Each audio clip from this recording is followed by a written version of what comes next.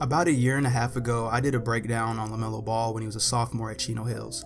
He was a 6'2, 15 year old with exceptional court vision and great scoring potential, but he was also a player that needed a lot of improvement when it came to shot selection, decision making, and his overall effort on the defensive end.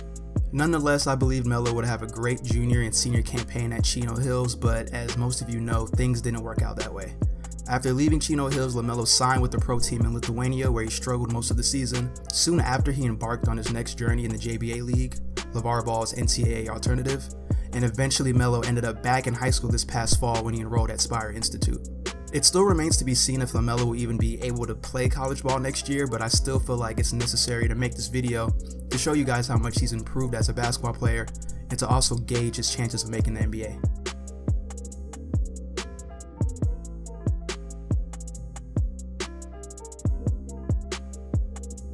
Melo has been a gifted passer most of his high school career, but now it looks like Melo has really started putting things together at the one spot.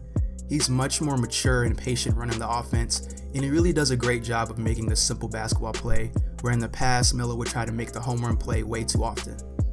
He has the same demeanor and poise as his older brother Lonzo. No matter what the defense does, Melo plays at his own pace and just lets the game come to him. Now, does Melo still make risky passes? Of course, He'll attempt at least one or two per game, but overall he's far less turnover prone than before. Melo used to be a score first type player, but now it's impressive to see Melo develop into a pass first player that tries to set up his teammates before trying to get his own on offense. A 6'6 guard with his passing ability screams NBA talent. Despite all the off court antics, it's hard to overlook the incredible upside LaMelo has as a point guard.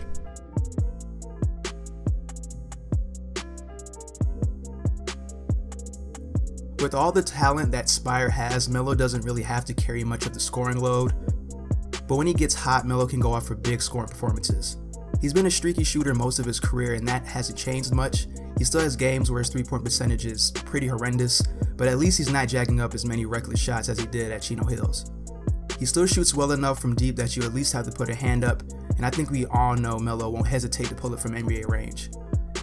As a driver, Melo isn't very explosive off the dribble, and his average athleticism doesn't allow him to finish above the rim that often, but his crafty handle makes him tough to stay in front of, and his ability to finish with both hands around the rim makes up for his lack of bounce.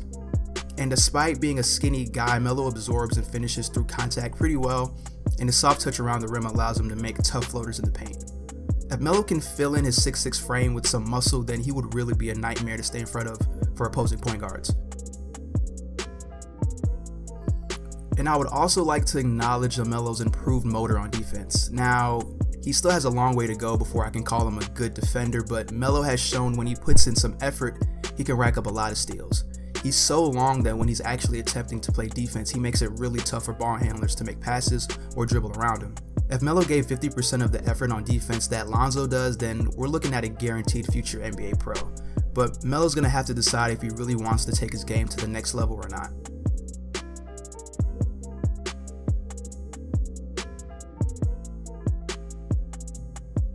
Alright, so despite Melo showing some type of improvement on defense, overall he's still a pretty bad defender. So where do I begin? It's almost rare that you'll see Melo in an actual defensive stance. 9 times out of 10, Melo won't even attempt to stop someone from attacking the basket, he'd rather just gamble and reach for the ball. When I'm watching the opposing team push the ball in transition, it's concerning that Melo is usually the last one back on defense. Hell, there's been times where Melo doesn't even cross half court. I don't know if Melo doesn't want to get exposed on defense or if he genuinely doesn't care about playing defense, but either way, something needs to be changed immediately. He's far too gifted as a player to let something like playing bad defense hurt his chances of playing in the league. Besides defense, his other two weaknesses are consistency on offense and his lack of physicality. Melo has a lot of potential to be a great scorer at the next level, but he still has a ways to go. His three point shot is on one game and gone the next. I feel like this is partly due to his shot mechanics. He has a terrible habit of fading away every time he shoots the ball, and his awkward form doesn't help anything either. He still has a tendency of jacking up some pretty bad shots, but at this point, it's almost expected with Melo. He's a gunner, that's who he is, but if he wants to play like that, he needs to find a way to be more consistent. And it also wouldn't hurt him to put on some weight. He has some issues finishing at the rim with contact, and this will definitely be an issue in the future once he's playing at the next level. Well, here's my verdict. LaMelo Ball is one of the most talented point guards in high school basketball, with arguably the highest ceiling. When you have a 6'6 point guard with his basketball IQ, shooting ability, and calm demeanor, you're looking at someone who could potentially be a franchise type player. But right now, Melo has a lot of on and off the court issues he needs to figure out. The chances of Melo playing college ball is very slim. If he does get an opportunity, it'll most likely be at a mid or low major university, where he'll for sure have to sit out some games at the beginning of the year. If he's not eligible, then he'll probably go overseas for at least a year, and then by then he'll be old enough to enter the NBA draft.